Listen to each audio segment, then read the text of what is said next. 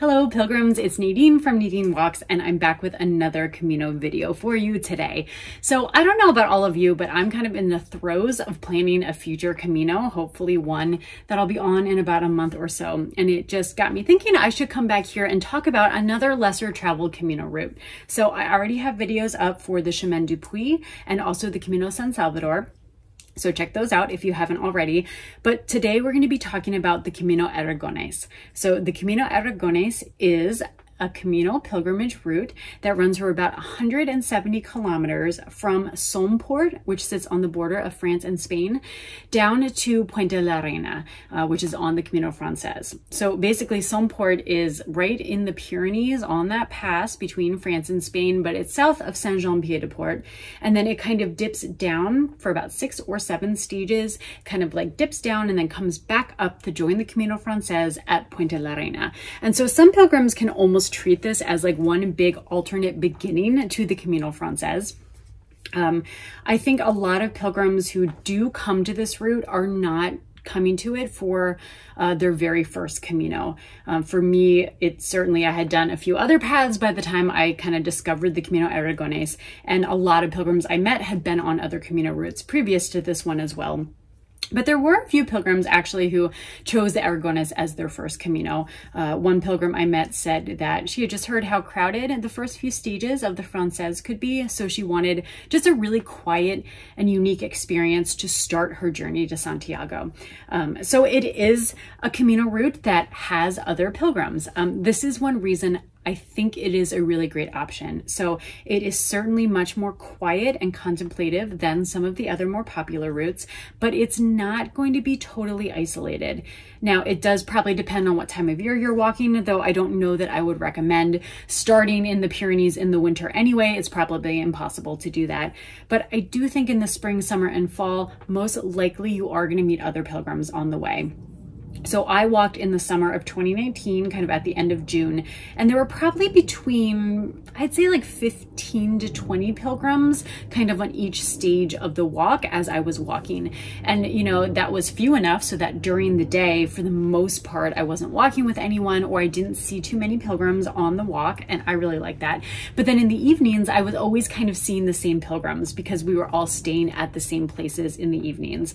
And that really kind of led to a really nice pilgrim community and a really nice spirit of the Camino on this route.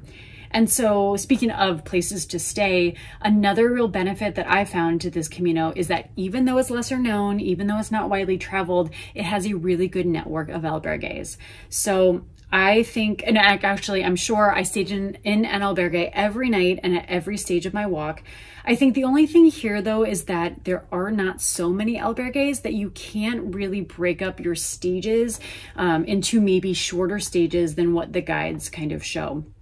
Um, I don't know that there are any stages that you have to walk 30 or more kilometers. So it's not, we're not talking about these super long stretches between services or towns or places to stay. Um, but I don't know that you could walk like 15 kilometer stages every day. Um, I just think there are a few stretches where there aren't albergues or hotels or pensions or other places to stay. But for the most part, I found that it was pretty doable to kind of follow the stages that were set out in the guides that I used um, and then to stay stay at an, albergue every night. And there are a couple really kind of amazing albergues, really incredible experiences on this Camino. There's the albergue in Arrés, which is kind of one of those must-stay Caminos. It has um, volunteer hospitaleros and hospitaleros running it. Um, they do, it's a donativo. They do a community dinner where all pilgrims kind of come together to cook the meal. There's a tour of the village afterwards. So it's, you know, just one of those really special places that you can find on a Camino. And I think it's really cool that there is an albergue like that on one of these really lesser traveled routes. Other things about this walk uh, that I think are pretty great. One is just really beautiful. So you're going through some pretty varied landscape. I think starting in Somport, you're again in the Pyrenees. And so the first stage, and especially the first well, I don't even know, maybe about half of the stage, you're kind of descending down through the Pyrenees. So you really get that mountain landscape. And then as you move into Spain, the terrain really kind of changes. Um, but it's really kind of gives you like both of those experiences. You're also passing along some really great sites along the way. Uh, there's a great monastery, the Monasterio de San Juan de la Peña, which is like kind of carved into the hillside and it's possible to walk there. So it is a detour from the main path of the Camino Aragones. Uh, I walked there, so I added an extra stage to walk. It is a kind of difficult walk, and I think most pilgrims will take a bus or a taxi up to the site. But it's a really incredible site that's, you know, very close to the route of the Camino. Um, the um, Church of Eunate is also right along this Camino route. So that's before you get to Puente de la Reina. And that's a really incredible place as well. So it's a really kind of neat and special Camino. The fact that you have that chance to develop a pilgrim community, you've got some great albergues, you've got some really beautiful sites and landscapes that you're passing through. I think some of the challenges of this Camino, um, while there are albergues to stay in, the infrastructure is just not quite as good for pilgrims as the more popular routes are. So there are going to be some stretches where uh, you're not going to have a chance to stock up on food. There aren't going to be bars or restaurants maybe along the way to stop in for a break. I think there are a few stages where you just have to make sure to carry a little backup food with you, maybe carry your lunch, carry enough water. Um, I also think getting to the start of this Camino in Somport is a little more challenging than other Camino routes. So again, Somport is in the mountains. It's right on the border of France and Spain, and there's not much up there. There's an albergue, there's a restaurant, and not much else. So pilgrims are able to officially start there and get to that starting point by taking maybe a combination of trains, buses, um, but the schedules aren't super frequent, and I think it takes just a little bit to kind of figure out how to get to the start point. So what some pilgrims do and what I did is I actually started further back in France. So I started about three stages back so that I could walk up and into the Pyrenees to arrive on foot in Somport.